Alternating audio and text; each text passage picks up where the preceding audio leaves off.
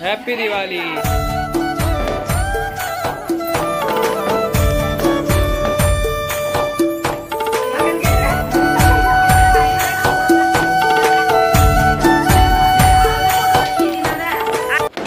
श्री राम आप सभी को राम। मेरा प्यार भरा नमस्कार। मैं किरण तिवारी भगवानी से आप सभी को स्वागत करते हैं और मेरे ब्लॉग में आप सभी को स्वागत है दोस्तों। आज दीपावली है, तो आप सभी को दीपावली की हार्दिक शुभकामनाएँ।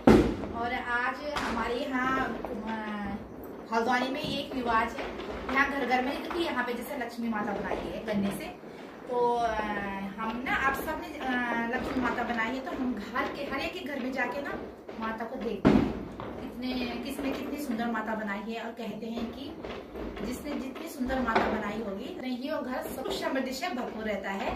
तो अभी हम बीना के घर आए हैं। अभी बारी बारी से हम जाएँगे। हैप्पी दिवाली अब जा रहे हैं हम गीता के घर में, के लिए है ये हमारी गीता, जो आपको गाने में सुनाती है कई बार मेरे साथ वीडियो में। वाह देखो। माता के अलग अलग बहुत सुंदर बना रखी माता।